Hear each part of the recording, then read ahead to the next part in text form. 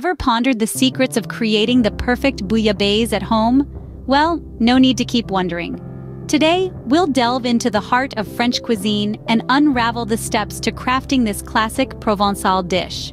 The essence of bouillabaisse, a traditional fish stew hailing from the port city of Marseille, lies in its fresh seafood and distinct blend of aromatic herbs and spices.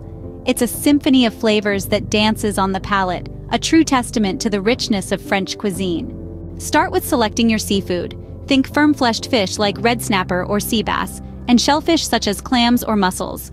Remember, the fresher, the better. Next, focus on the base for your bouillabaisse. Sauté onions, leeks, and garlic in olive oil until they're soft and fragrant. Stir in tomatoes, fennel, and a bouquet garni of fresh herbs, typically parsley, thyme, and bay leaves. Add a pinch of saffron, the soul of bouillabaisse, for that distinct taste and vibrant color. Pour in a generous amount of white wine, followed by fish stock. Let the mixture simmer to marry the flavors, creating a broth that's both aromatic and flavorful. Now comes the exciting part, adding the seafood. Start with the fish, cutting it into large chunks, then add in the shellfish. Let it simmer until the seafood is cooked perfectly, absorbing the flavors of the broth.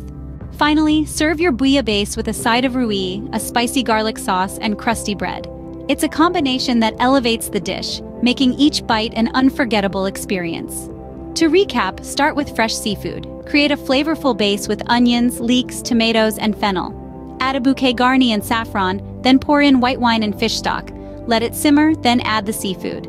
Serve with rouille and crusty bread. So, there you have it, a step-by-step guide to creating the perfect bouillabaisse at home. It's a journey into the heart of French cuisine, a chance to bring a piece of Provence into your kitchen. Happy cooking!